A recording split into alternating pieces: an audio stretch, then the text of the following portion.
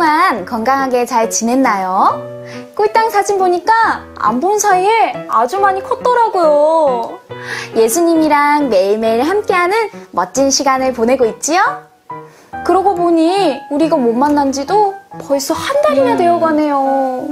그러니까요. 전도사님도 우리 친구들이 어떻게 지내는지 너무너무 궁금해요. 가정에서는 주일날 영상 예배를 통해 예배를 드리고 또 매일매일 엄마 아빠 꿀당을 통해 예수님 만나고 있지요? 아주 잘하고 있어요. 우리 친구들 최고! 맞아요. 우리가 어디에 있든지 예수님이 함께 계시고 우리의 마음이 하나님께 있다면 그 자리가 바로 예배의 자리가 된답니다. 자, 오늘도 우리 하나님께 예배 드리면서 우리의 믿음이 쑥쑥 자라나는 영아, 유아, 유치부 친구들이 되기를 축복합니다. 오늘의 말씀 예수님이 십자가에 달리셨어요. 아버지, 저 사람들을 용서하여 주소서. 저들은 자기들이 하고 있는 일을 알지 못합니다. 누가복음 23장 34절 말씀. 아멘. 전도사님이 우리 친구들이 정말 좋아하는 맛있고 쫄깃쫄깃한 젤리 막대를 가지고 왔어요. 누구에게 주면 좋을까요? 어디 보자. 어, 예쁘게 앉아서 말도 잘 듣는 그런 친구를 줄까요? 아니면, 어, 저기 보니까, 어, 엄마 말씀도 안 듣고 떼쓰고 돌아다니는 친구가 있네요. 저 친구를 줄까요? 여러분이라면 누구를 주고 싶겠어요? 전도사님은요, 두 친구 모두에게 이 젤리 막대를 주고 싶어요. 비록 말 안 듣고 떼쓰는 친구라 할지라도 이 맛있는 젤리 막대를 주고 싶어요. 왜냐고요? 그 친구들도 전도사님이 정말 정말 사랑하기 때문이에요.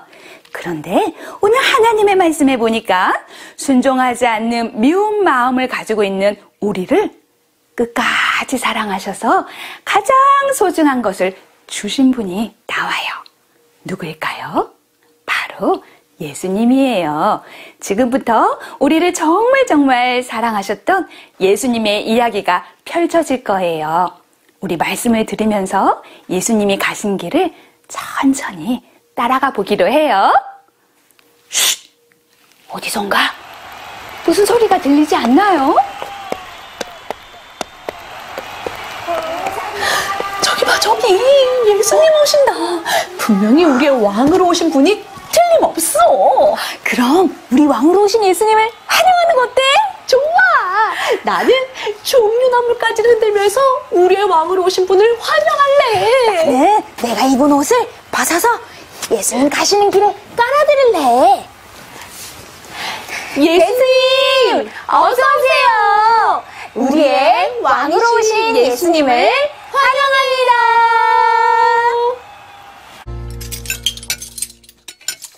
이스라엘 나라의 명절인 6월절 밤이었어요.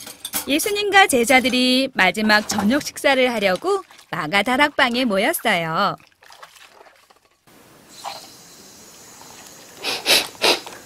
야, 이게 무슨 냄새야? 너 방귀 꼈냐?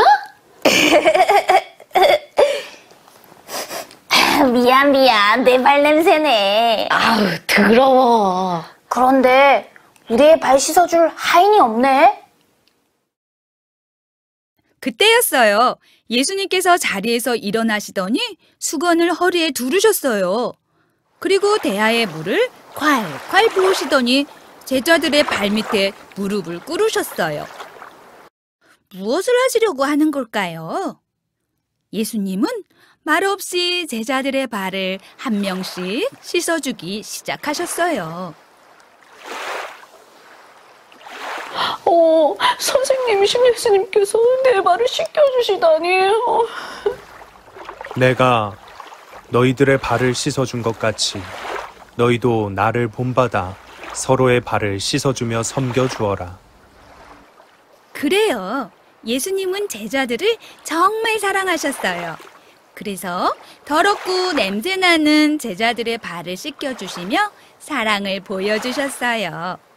그 예수님의 사랑은 거기서 끝나지 않았어요. 이 빵은 너희를 위하여 주는 내 몸이니라. 이 잔은 너희를 위하여 흘리는 나의 피니라. 이 빵과 포도주를 먹고 마실 때마다 너희를 위한 내 사랑을 기억하여라. 예수님은 이제 곧 이 세상 모든 사람, 그리고 우리 친구들 한 사람 한 사람을 너무나 사랑하셔서 예수님 자신의 생명을 주시려고 준비하고 계셨던 거예요.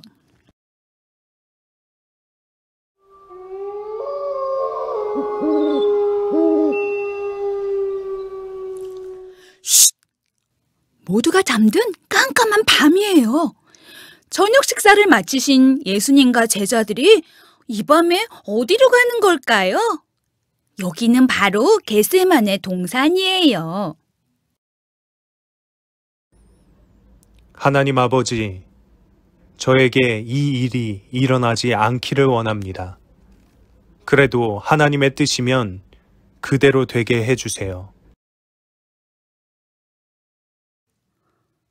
예수님은 이곳에서 하나님께 마음을 다해 기도하셨어요. 예수님에게 곧 일어날 일을 알고 계셨거든요. 어? 곧 일어날 일이라고요? 아, 바로 예수님이 고통받으시고 죽게 될 일이요.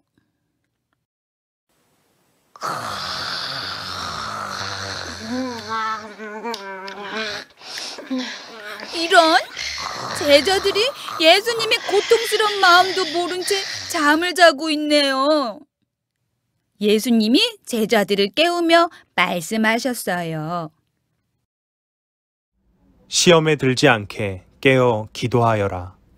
아, 예, 예수님. 아유. 죄송해요.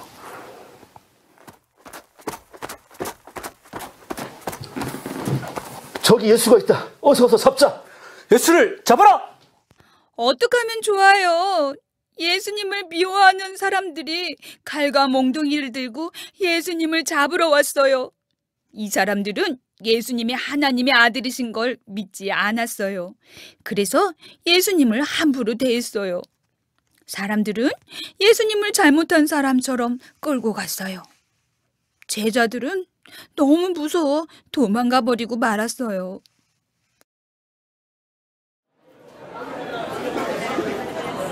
예수님을 미워하던 사람들이 한 곳에 모여 목소리를 높이기 시작했어요. 자기가 하나님의 아들이래. 말도 안 돼. 저런 말을 한 예수를 죽여야 해.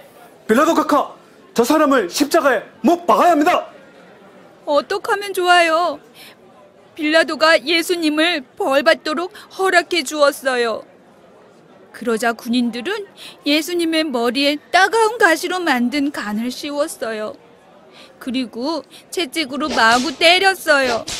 가시에 찔린 머리와 채찍에 맞은 몸은 상처와 피로 가득했어요. 하지만 예수님은 아무 말도 없이 그 아픔과 부끄러움을 참으셨어요. 예수님은 아픈 몸으로 무거운 십자가를 지고 십자가에 달리기 위해 골고다 언덕길을 올라가셨어요. 많은 사람들이 예수님의 뒤를 따라갔어요. 그 중에는 슬퍼하며 우는 여자들도 있었어요.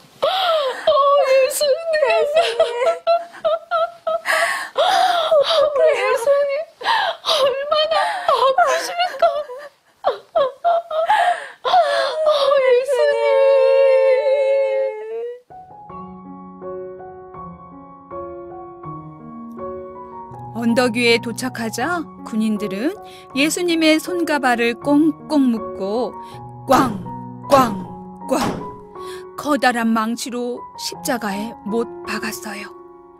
커다란 못이 박힌 예수님의 손과 발에서 피가 흘러내렸어요. 예수님을 사랑하던 사람들은 그런 예수님을 보며 울었어요. 예수님. 하지만 예수님은 자신을 욕하고 못 박은 사람들을 위해 이렇게 기도하셨어요.